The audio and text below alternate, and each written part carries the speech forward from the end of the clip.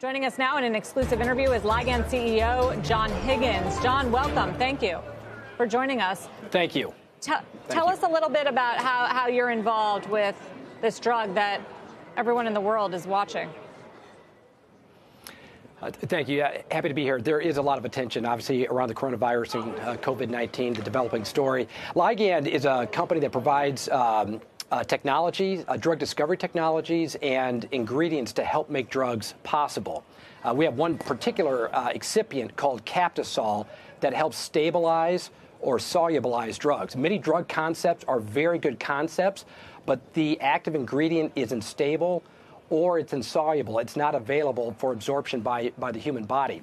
In this case, with remdesivir, it's a broad-acting antiviral that is highly insoluble. Uh, tremendous efficacy. There's animal data uh, across a variety of uh, viral targets, some uh, limited human data, but it's insoluble. So in this case, uh, Gilead and now some other uh, partners have contacted us. They're seeking supply of Captisol to help make their drug possible.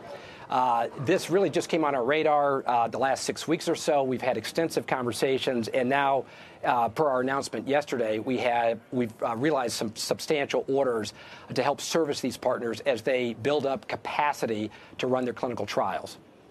And John, how significant have these orders been so far, and how much more significant could they be if remdesivir gets approved and used to treat coronavirus? The, uh, the announcement yesterday, we indicated that we've seen an additional 5 million of orders. Uh, that's several metric tons of quantity.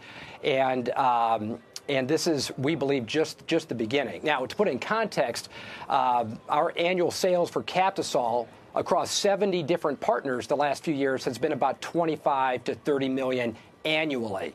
So just in the last couple of weeks, a couple of orders have come in for $5 million alone for this one uh, uh, antiviral agent for this particular uh, market. Now, we're still in clinical development. Uh, data won't be out for uh, a few weeks. People are saying uh, probably into April. these are still clinical trials. The Chinese government is running trials. The U.S. government, the NIH, is now running studies out of Nebraska. And, um, and Gilead just yesterday announced that they are opening up two 1,000 patient trials.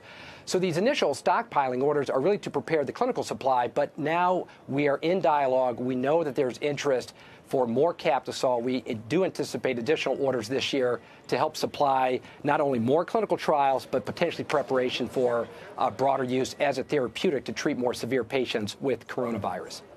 What, what kind of time frame are you looking at? What's your expectation? Well, with, with drug development, and first, I, I want to be clear remdesivir, it's not our uh, drug. We, we didn't invent the drug. Right. It's not our drug, and we aren't running the trials. We are going to comment on, on the outcome of those studies. But uh, Ligand is prepared. We have substantial capacity. We manufacture out of multiple uh, sites. Uh, we have a very stable source of supply of raw materials uh, from markets that we do not feel threatened uh, for uh, distribution or trade disruption.